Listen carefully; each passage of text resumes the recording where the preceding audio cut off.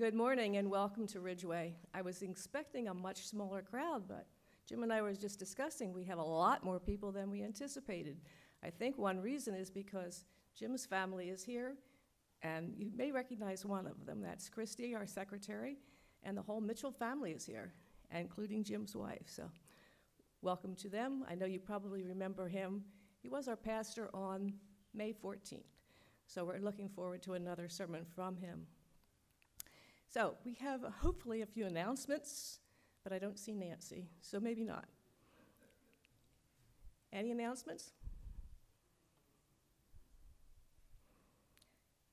Okay, then we'll have our prelude.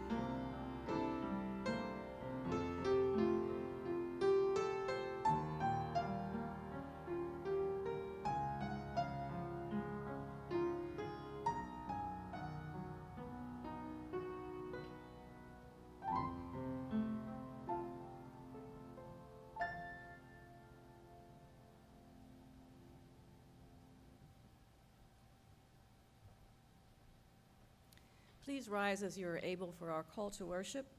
You can find out a variety of places. In fact, it's on page 660 in your hymnal, it's in your bulletin, and it's on the screen. Join with me, please. The Lord be with you, and also with you. Lift up your hearts.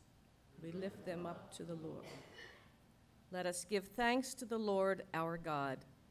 It is right to give our thanks and praise.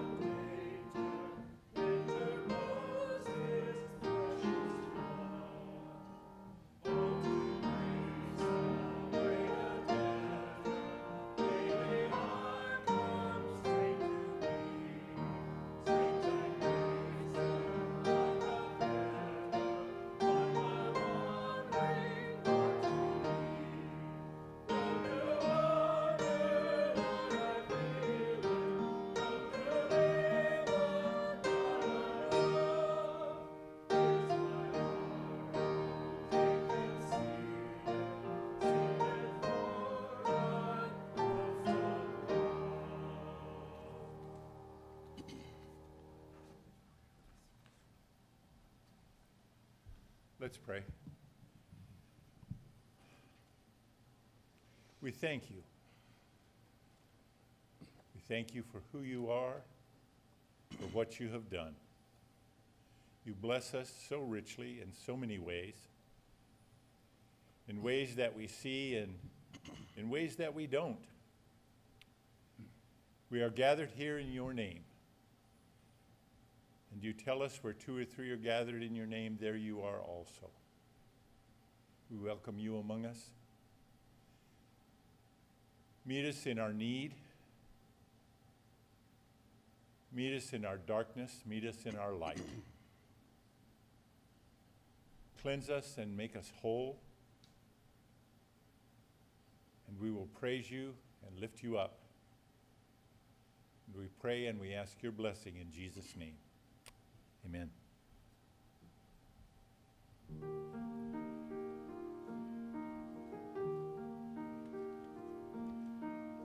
Just as I am, without one plea, but that thy blood was shed for me,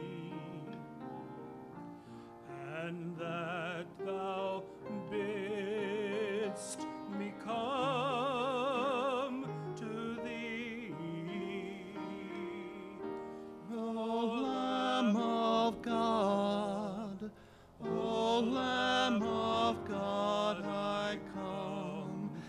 just as I am, and waiting not to rid my soul of one dark blot. To thee whose blood can cleanse each spot. O Lamb of God, O Lamb of God, just as I am, poor wretched blind, sight riches, healing of the mind, yea, all I need in thee to find, O Lamb of God, I come. Just as I am, thou wilt receive, wilt welcome, pardon, cleanse. Thy promise. I believe, O Lamb of God, I come.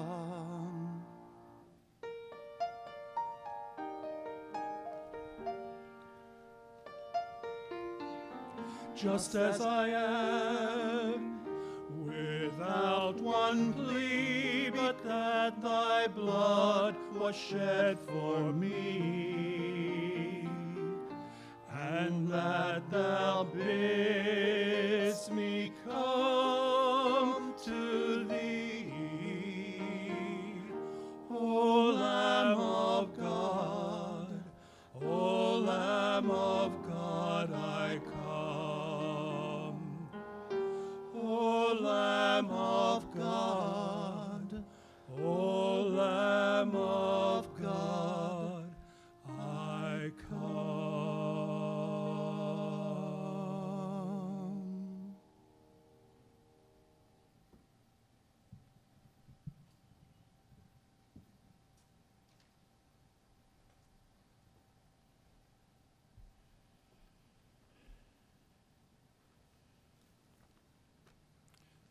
worth getting up this morning.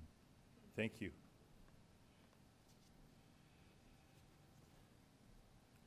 I want to read Psalm 138. I will praise you, O Lord, with all my heart. Before the gods, I will sing your praise. I will bow down toward your holy temple, and I will praise your name for your love and your faithfulness. For you have exalted above all things your name and your word. When I called, you answered me. You made me bold and stout hearted. May all the kings of the earth praise you, O Lord. When my heart, the words of your mouth, may they sing of the ways of the Lord, for the glory of the Lord is great. Though the Lord is on high, he looks down on the lowly, but the proud he knows from afar. Though I walk in the midst of trouble, you preserve my life. You stretch out your hand against the anger of my foes. With your right hand, you save me. The Lord will fulfill his promise for me. Your love, O Lord, endures forever. Do not abandon the works of your hands. May the words of my mouth and the meditation of my heart be pleasing and acceptable to you, O Lord my God. I have to tell you a secret about preachers. Well, I'll tell you a secret about this preacher. Um, I speak more than I know. Uh, on more than one occasion, in the years that I preached, and my poor wife had to listen every week, she would say when we got home, You don't do that, or you don't believe that, or words to that effect. And I suspect, I'm just guessing, that that's true of every preacher. I speak to you this morning about being thankful. And I think that's probably not something I'm very good at. I grew up in a home it was a loving home, but different. My dad always believed that everybody was out to screw him. That's just who he was. And I picked that up.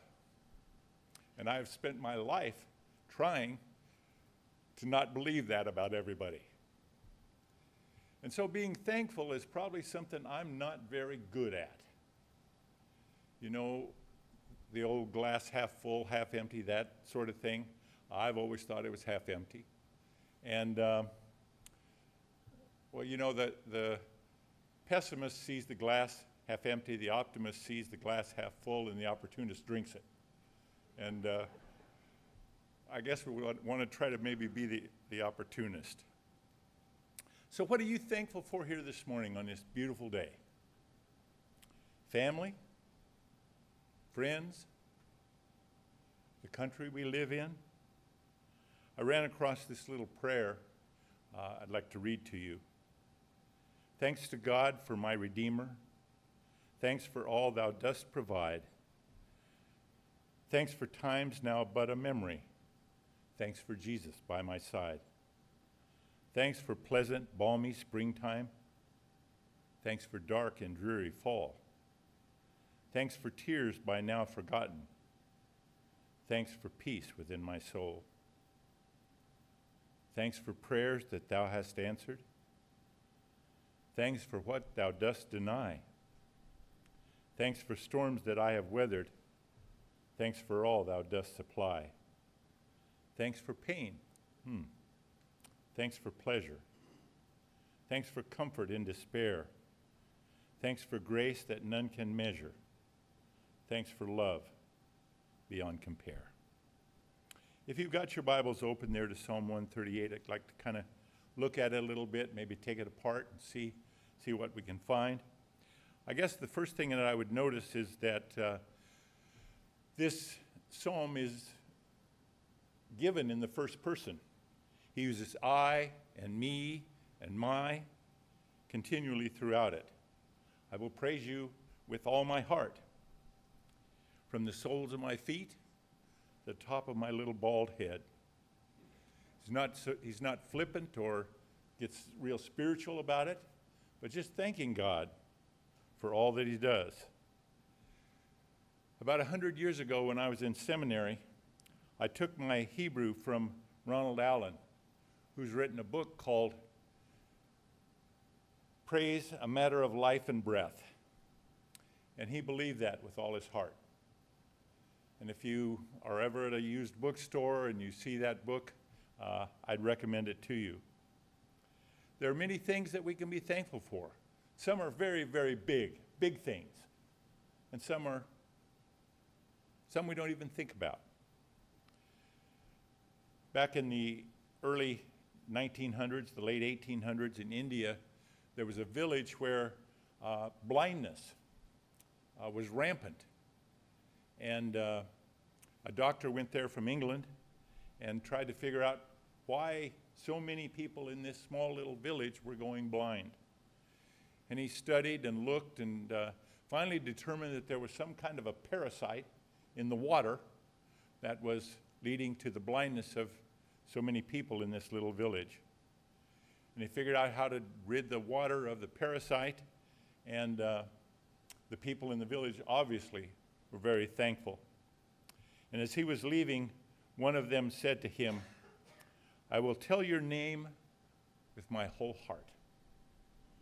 It would be an, a, great thing, wouldn't it, to avoid blindness if you could, and how thankful you would you would be to the person who kept you from going blind.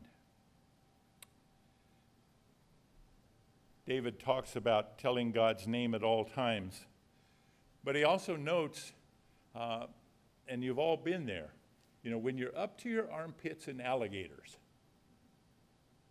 it's hard to remember that you're there to drain the swamp. And David sometimes is up to his armpits in alligators, but he always tries to remember that what he's there for is to tell God's name. You tell God's name,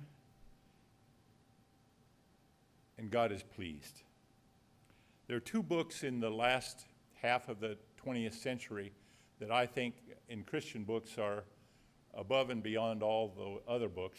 The first is Philip Yancey's What's So Amazing About Grace. Uh, that book, uh, I just can't say enough about it. The other is The Shack, and I love that book, and uh, I've read it and reread it many times, and uh, it, I never read it that it doesn't bring me to tears.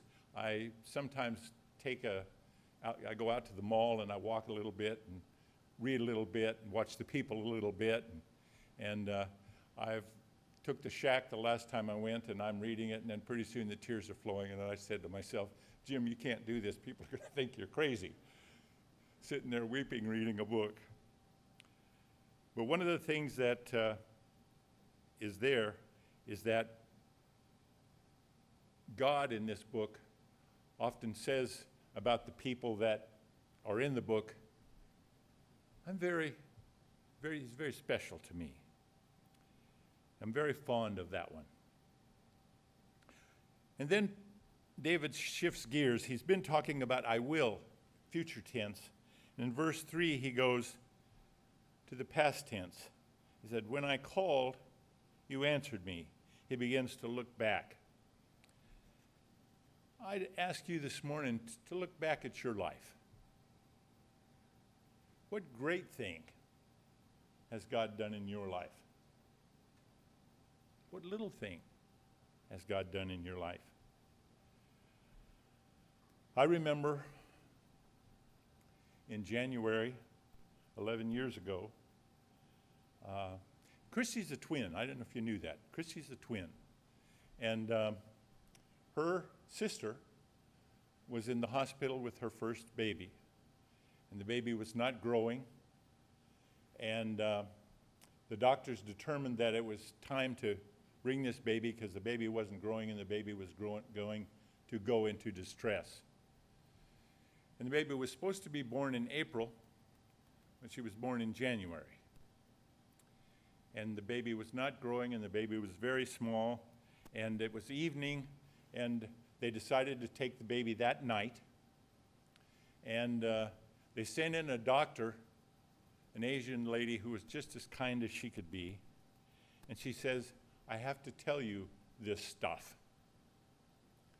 And then she says, because this baby is going to be so premature and so small, she could be blind. And she started to cry. And I, mm, I looked at Jenny, and she, she was crying. And pretty soon I was sitting there, and I was crying. And this doctor went on, and she said, and she could be retarded, and she cried, and she could be deformed, and she could have organs on the inside that were not formed, and it was, it was the most awful thing I think I've experienced in a very, very long time. And then every now and then this doctor would say, I'm sorry I have to tell you this, but I have to tell you this. You know, the, the, the hospital and the doctors have to protect themselves. And, and she'd say, I'm sorry I have to tell you this. And she cried, and Jenny cried, and I cried. And Lydia was born one pound, 14 ounces.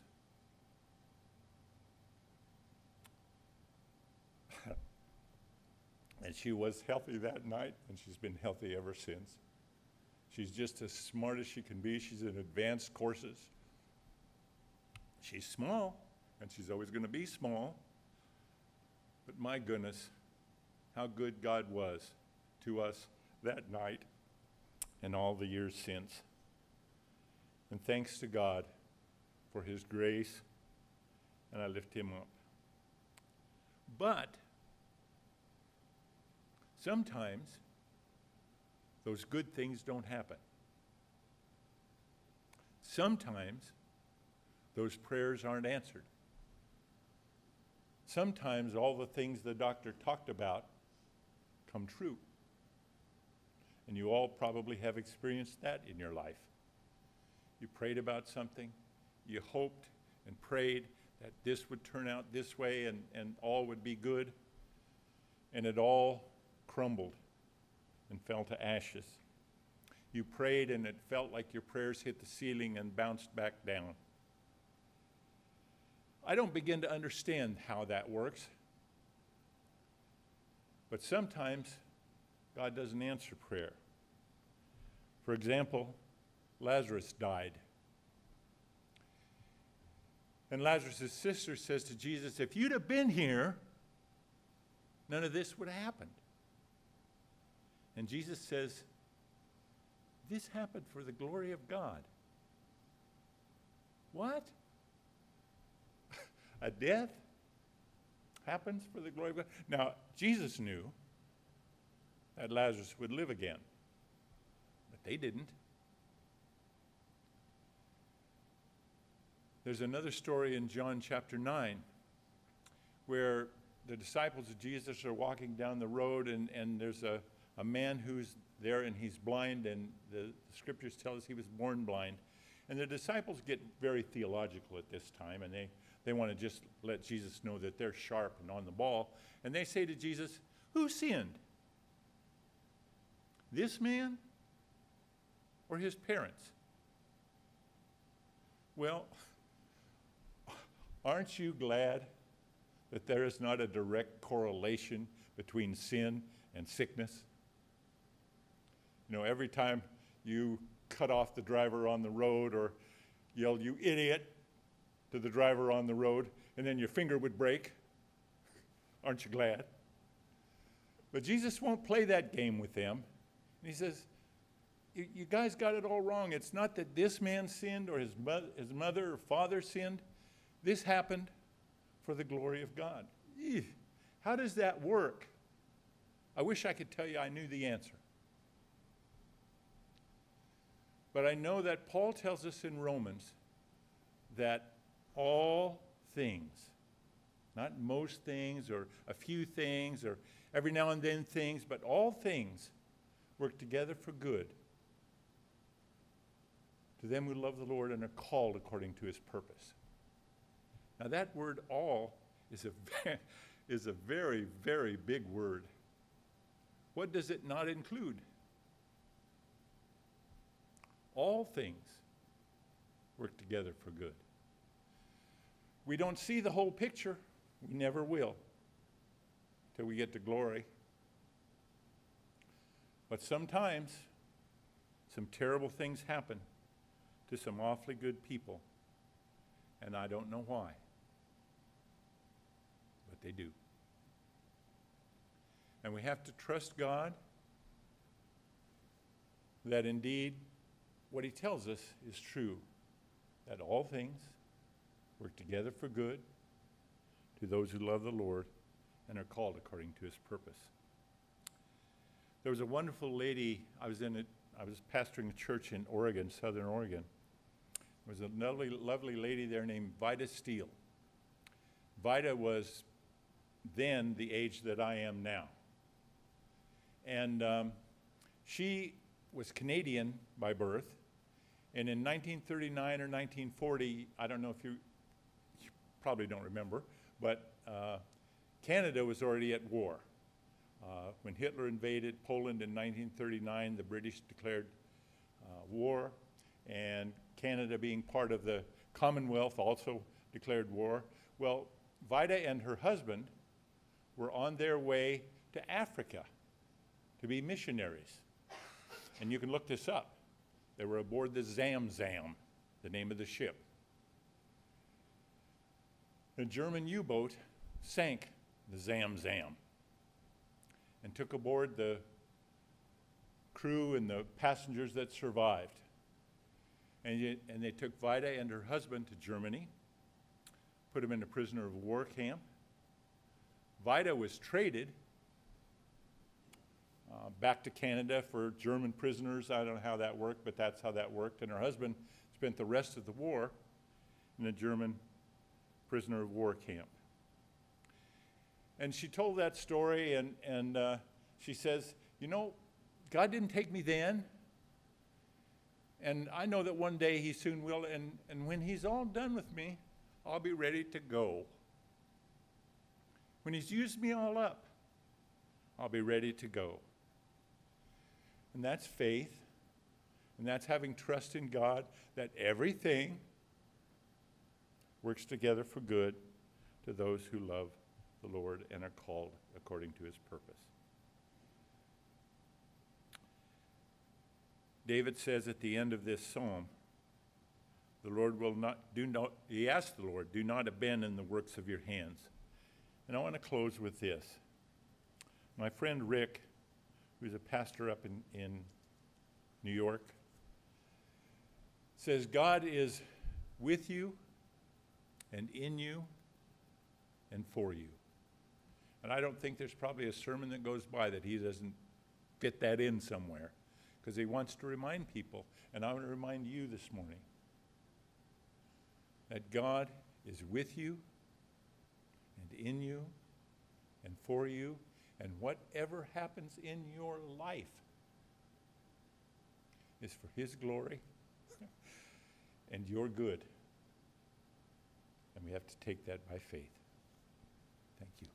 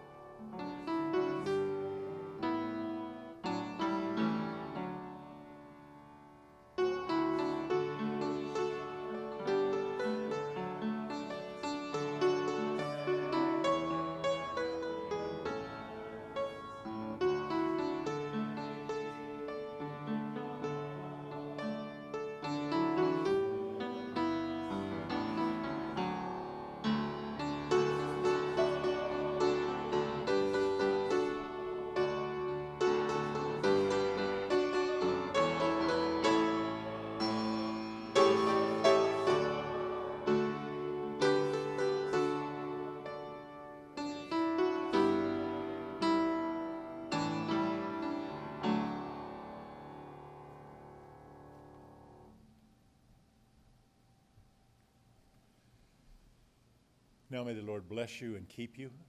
The Lord make his face to shine upon you and be gracious to you. The Lord lift up his countenance upon you and give you his peace.